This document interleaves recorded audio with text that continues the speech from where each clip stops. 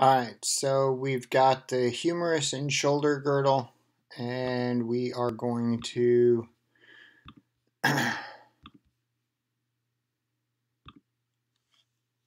start talking. Um, we're going to skip these objectives and we're going to continue into the AP external rotation um, anatomy review. So, this is just review. Um, external rotation, look at the way of the position of the hand, and then also on that external rotation, look at your epicondyles here and here. You're going to want to bring um, you're going to want to bring those parallel to the image receptor, so they're going to be parallel to that image receptor. Um, review this, keep this image in mind as one to um, be able to label it will show up again. Um, anatomy review one more time. Um, keep this image as an image to um, be able to label and um, understand what A is the sternoclavicular, B the sternal end, C the body of the clavicle, D the acromion end, and E the acromion clavicular. So AP scapula anatomy, once again, this image, you're going to want to make sure that you know this image and be able to identify and label everything. Um, e as the, the medial border or vertebral border, F as the inferior angle. Um, D here is a rib, basically. You're, you've got um, C is the notch right here in the scapula. B is the spine. H is the glenohumeral cavity. A is the acromion. G is the ax- axillary border or lateral border.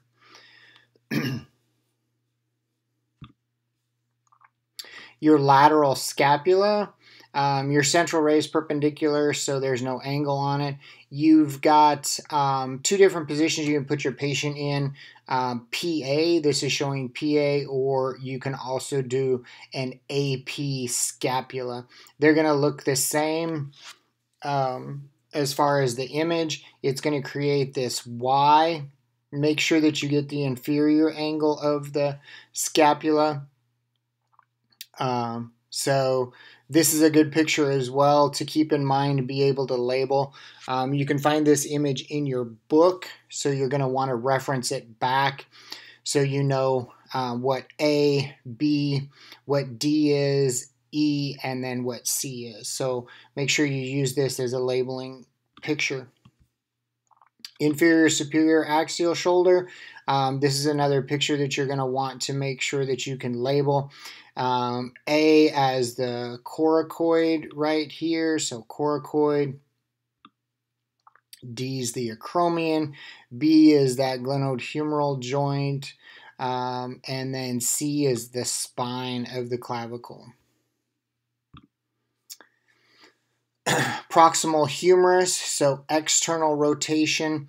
Once again, external rotation, the hand is what's going to be most important to make sure that you have that external rotation. Your epicondyles, once again, they're parallel. So here and here, running in this uh, this direction, parallel with that image receptor, you're going to see the greater tubercle in profile and the lesser tubercle is going to be anterior. So this is your lesser tubercle anterior, and then this is your greater tubercle in profile here so you can see your greater tubercle. Uh, we will talk later about it, but your centering will change on your shoulder for your internal external. Um, in the clinic site, in the clinic site, you're going to be um, opened a little bit wider, maybe a little bit more anterior um, a little bit more superior and inferior because you want to include the entire clavicle, um, a little bit of the vertebral bodies here because you want to get that um, sternal uh, clavicular joint. So you're going to want to image all of that. We'll talk about that a little bit later as well. So your internal rotation, take a look at the hand here. So the back of the hand is placed on the hip. Your um, epicondyles are um, laid over top of one another, so they are perpendicular. So one here and then one against the board. So it's coming in directly to the board. So perpendicular to the IR for the epicondyles. Your greater tubercle is anterior, so your greater tubercle moves here, and then your lesser tubercle lays in profile here next to that uh, glenohumeral joint. Um, points in basically in profile towards the the ribs there that you can see. And once again, as we talked about, you're going to be opened a little bit more side to side. You want to get the inferior angle of the scapula, and then you want the entire clavicle to the SC joint um, to be included. Okay, so neutral rotation in that neutral rotation, that hand, the palm of the hand is against the thigh. Your epicondyles form a 45 degree angle to the to the bucky. So what that ends up doing is neither the greater tubercle or the lesser tubercle are in profile. So neither one is in profile. They're basically both are anterior here Epicondyles 45 degrees, neutral rotation. Once again, your collimation is going to be opened a little bit wider. You want to include the inferior angle, and then you want to include the rest of that clavicle to that um, SC joint. These three images here, A, B, and C, give you side-by-side -side images of your shoulder. So this one is, they are all AP. So all of them are AP positions of the shoulder. This one is an external rotation, okay? So external rotation,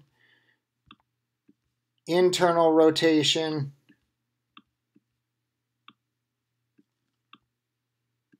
and neutral. Okay, so just make sure that you know what each one of those are. And once again, it would be called AP shoulder, external rotation, AP shoulder, internal rotation, AP shoulder, neutral rotation, or in the neutral position. So make sure that you know the greater tubercle in profile, the lesser tubercle in profile, and then neither the greater nor the lesser are in profile. Uh, moving on with our exam history, this should be review for everything that we've done. You're going to confirm the patient name, the date of birth, and the order. So keep in mind that when you pull them, uh, when you call them the first time, you're just calling them uh, by their last name, and then you're going to verify on their wristband, bring them to the room, have them state their name and date of birth as you look at the the wristband, and then verify the order. Um, you always want to note the area of interest, uh, the location of pain, pain scale, um, 1 to 10 uh, for a pain scale. Um, ask or look to see if there are any contusions, lacerations, if they have any immobility. So you want to ask them, can you move your shoulder? Can you raise your arm? Um, that way you get an idea or a sense of what they're able to do. Um, was there any injury? Um, how and when? So, how did it happen? When did it happen? Any previous injuries or surgeries? Um, that's all part of your history.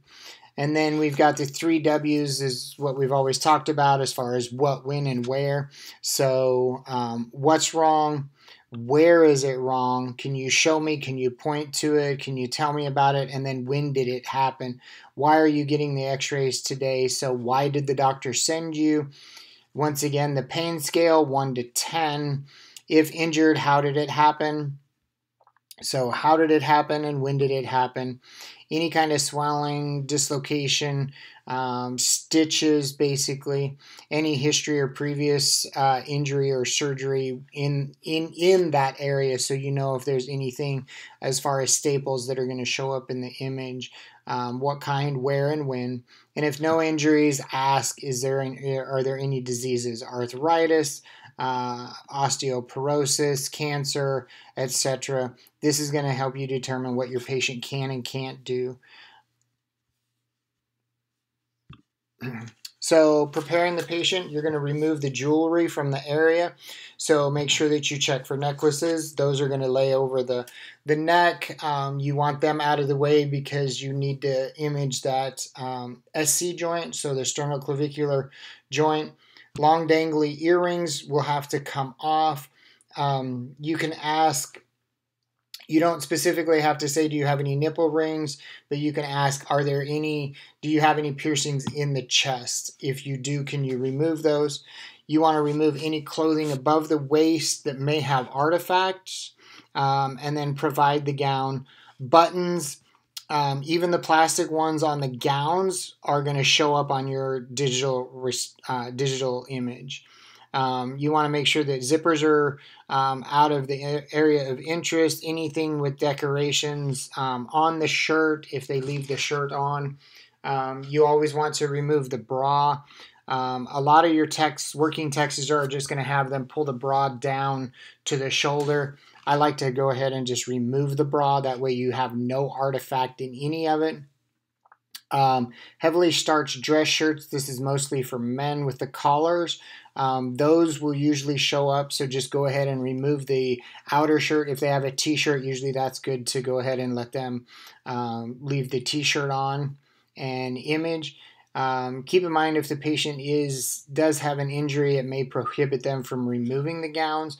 So just be careful and mindful of that. And then always, always, always um, shield everybody.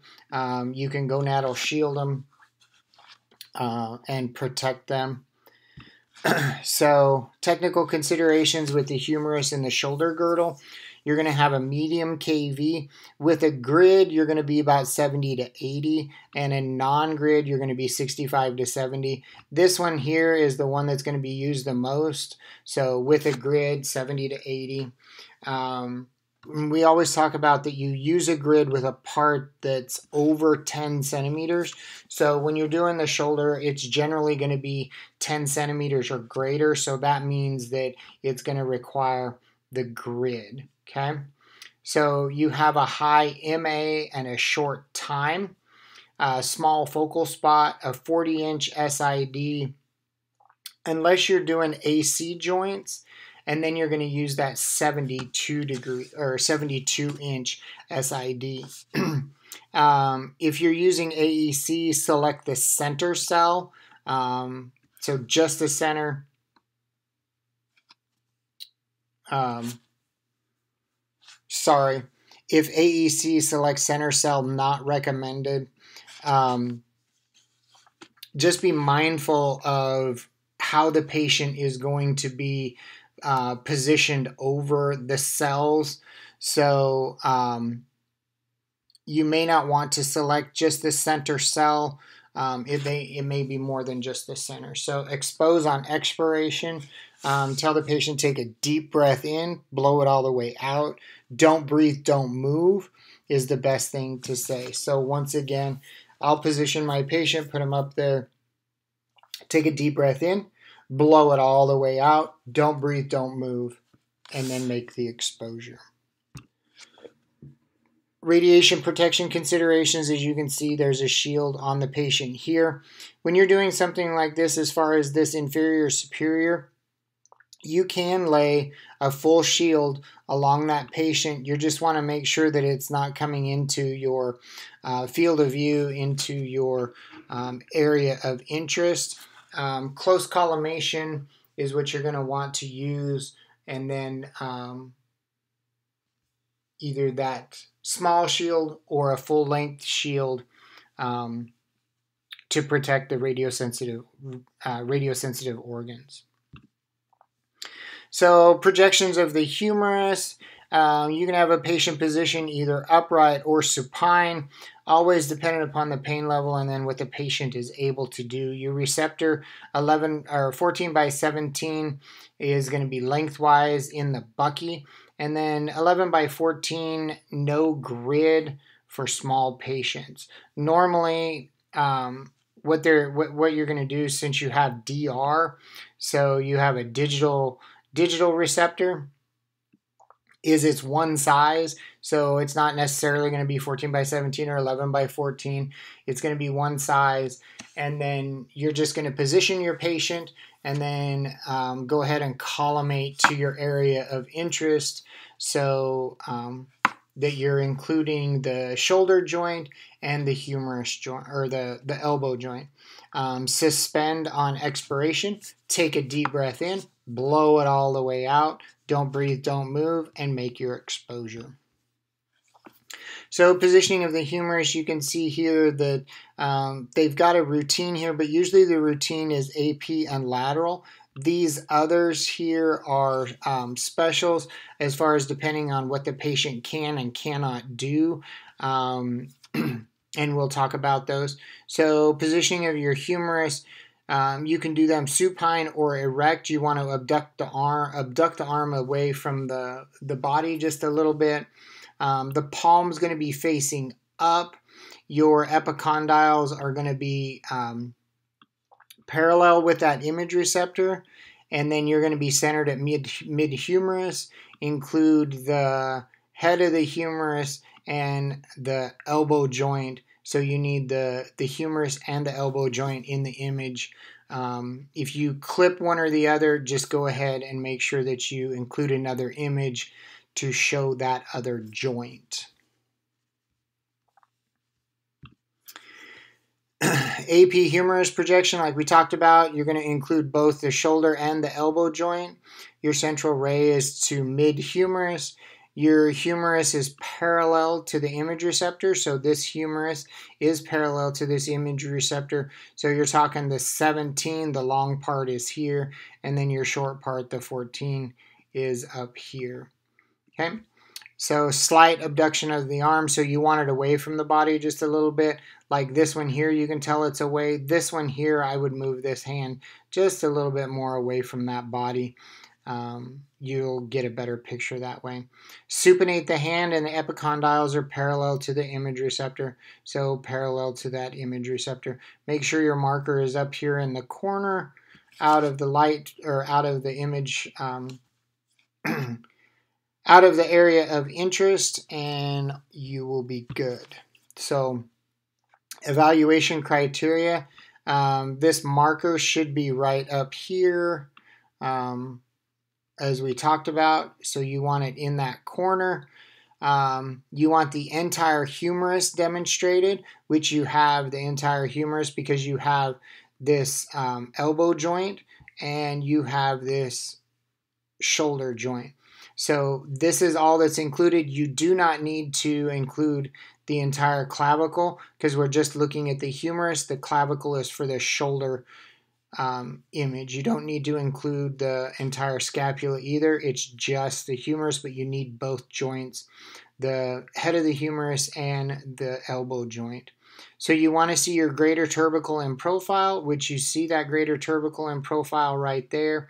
Medial and lateral epicondyles are in profile, which is right here and right here.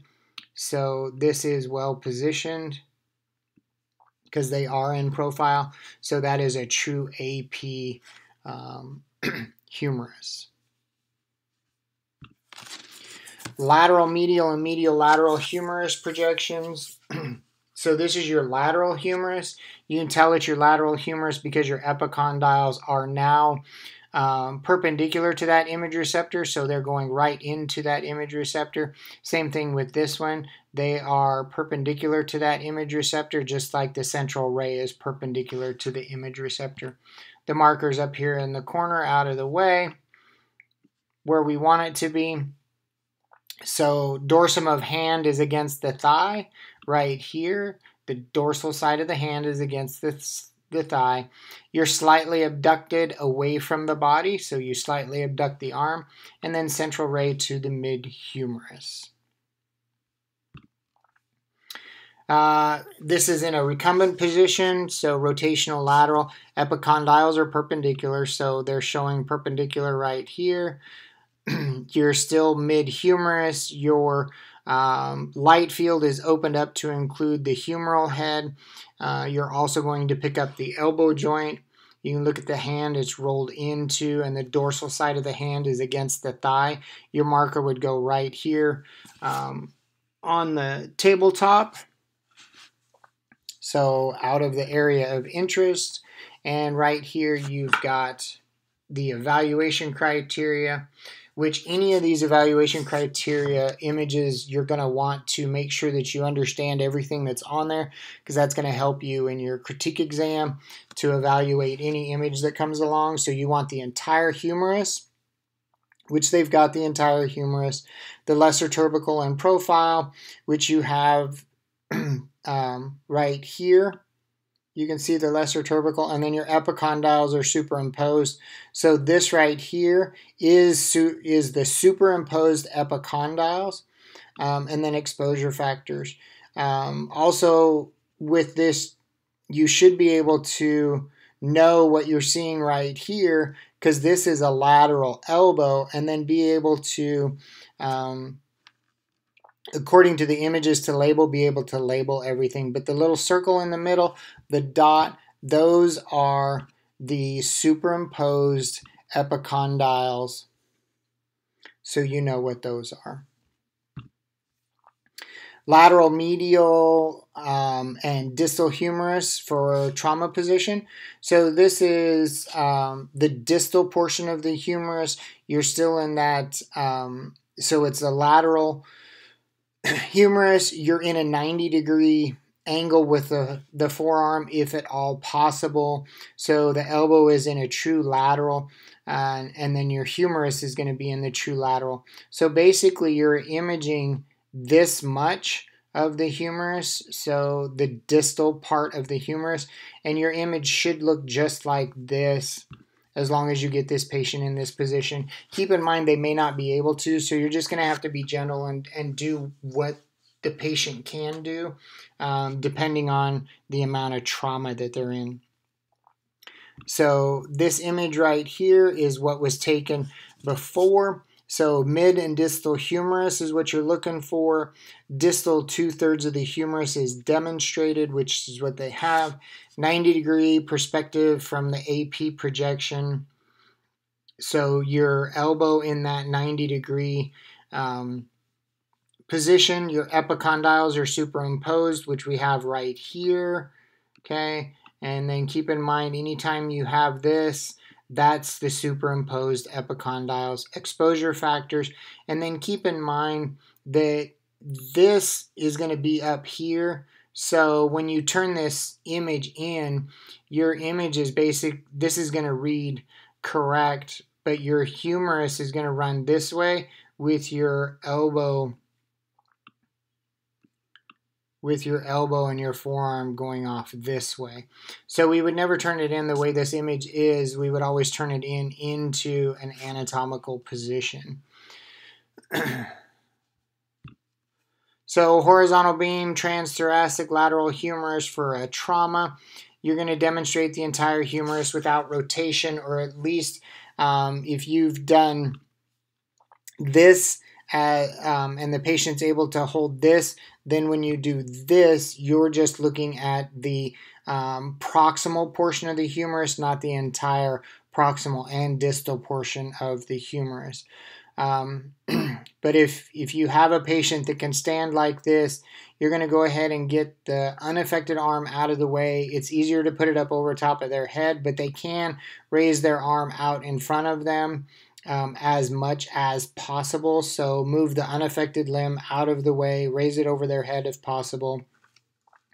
Central ray to the mid aspect of the humerus, which is the mid aspect of the humerus here. They're going to get the entire humerus. And then your breathing technique is recommended because keep in mind you have the ribs that lay in here, um, this side and the other side, as far as ribs. Um, and then you need that um, technique of breathing to blur those ribs out and image that humerus through the other side.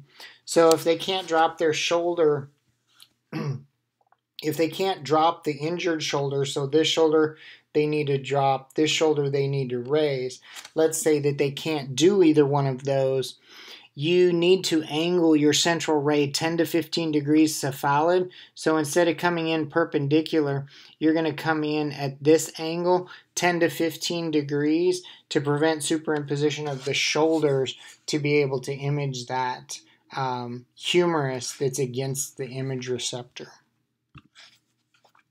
So your horizontal beam transthoracic, this is what this humerus looks like. You've got your elbow joint here, You've got your humeral joint here. So you have both of them. You're seeing the the fracture right there. So that arm's not able to move. So this may not be a true in a true lateral position because they can't move. They're not going to be able to move their lower arm because it's going to cause too much pain. Just make sure that you mark it as a cross table. And then once again, this image would not be presented this way um, in this fashion, you would actually rotate this image and this would be the top up here and this would be the bottom of your image here. And that's how you would send it over to the radiologist. So AP projections are the proximal shoulder and humerus.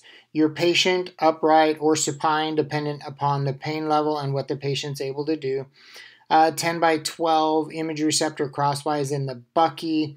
Um, so you're going to collimate to um, approximately 10 by 12 because your digital image receptor is going to be a large 14 by 17. Once again, you're going to suspend it on expiration. So take a deep breath in, blow it all the way out. Don't breathe, don't move, and that's when you're going to make the exposure. So our shoulder non-trauma, our basic is um, the AP external rotation, AP internal rotation, and then you have um, alternate uh, third view, which is your scap Y lateral, which is either AP or PA, your inferior superior axillary, or the Grashey method. So when you're comping in the clinical sites, all you're required to do is internal and external the uh, third view out here, you're not going to be graded on it, but you're going to have to do that image um, because that patient is yours and you're comping on that patient. The techs should only grade you on the two AP, external and internal, not on the comment or the alternate third view. If you miss this image, they should not fail you for it. They should only grade you on the internal and external. Also, once again, we have special, so the inferior superior axial, the Lawrence method, um, PA transaxillary projection, the Hobbs method, inferior superior axillary projection, the Clements modification, um, the Grashey method, posterior oblique, and then the tangential Fisk. These are all ones that we'll talk about, but we just need you to be exposed to them. Um, they're not ones that you're going to have to comp on. I'm going to end right here, and then I'll do another video um, to continue this.